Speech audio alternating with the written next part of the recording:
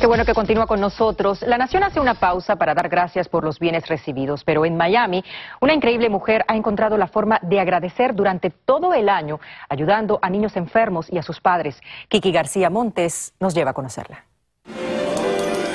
Elena Linares es dueña de varias peluquerías, donde los clientes son mimados y embellecidos por bellas peluqueras.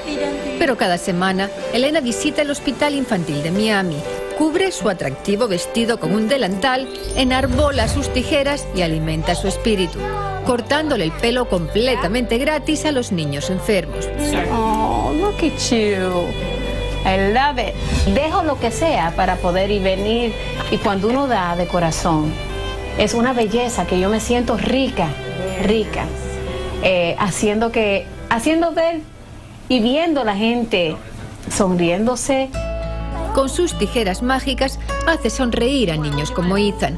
Artritis reumatoide complicada con inflamación esofagal crónica han hecho que el hospital sea su segundo hogar y ella su peluquera favorita. O a este pequeño que llega en brazos de su cardiólogo y se va encantado y con los pelos literalmente parados y por unos minutos logra olvidarse de la larga cicatriz en su pecho y de las cirugías aún por venir. Se sienten mejor cuando se les arregla el pelo, y claro, yo lo hago reír y se escapan y se, y se olvidan un poco de, lo que, de la tristeza. Según Elena, esta es una forma de dar gracias a Dios por haberle dado una segunda oportunidad. La persona con quien me casé fue abusivo eh, y tuve un niño, me tuve que escapar para poder salvarme la vida.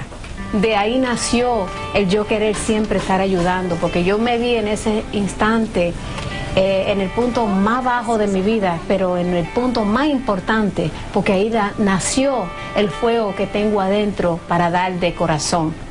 Y estos cortes de pelo en el hospital de Elena son un bálsamo para el alma de los niños enfermos y de los padres que cuidan de ellos. No, no pasaba de tres meses de vida, Fabián llegó hace dos semanas de Carolina del Norte con su bebita de cuatro meses. Esta es la primera vez que se sienta y deja que alguien se preocupe por él. Hace dos semanas que no me cortaba el pelo ni me hacía la barba por estar al, lado de mi hija. Para los padres también poder salir por lo menos 15, 20 minutos de un cuarto, darse ese escape en, su, en, unos momentos críticos es una ayuda increíblemente. Elena es una persona increíble que desde que el primer día que empezó era quiero más, quiero ayudar más, quiero ayudar más. Y créanme, jamás dice que no, sea la hora que sea como cuando a una estresada madre se le olvidó cortarle el pelo a su hijo antes de la cirugía en la nuca. Yo fui una de esas madres que le cortaste el pelo a mi hijo a las 8 de la noche. Ay, no. Viniste por él solo al hospital a cortarle el pelo, nunca se me olvidó. Ni se me olvidará.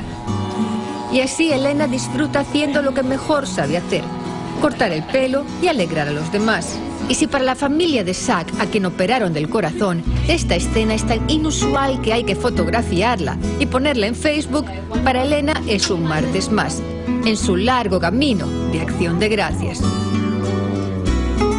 Y qué hermoso poder bendecir a otros con el talento que se tiene. La generosidad de Elena no se limita a los niños enfermos, también ofrece sus servicios gratuitos en un hogar para mujeres abusadas y dice que nunca podrá agradecer lo suficiente la ayuda que recibió cuando fue víctima de violencia doméstica.